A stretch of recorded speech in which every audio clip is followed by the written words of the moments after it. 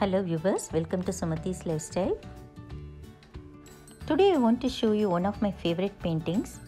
I was so impressed after seeing the original painting by a famous artist. He named the painting Forgotten.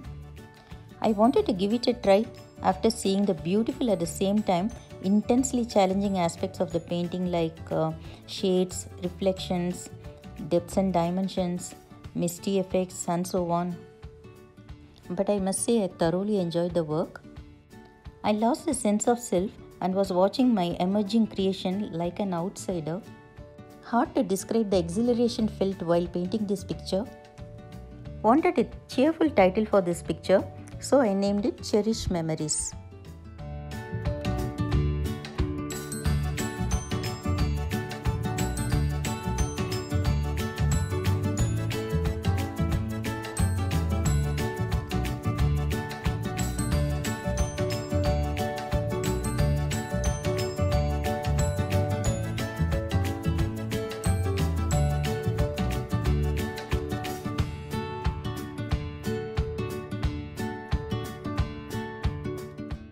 Hope you all enjoyed the painting. Thanks for watching.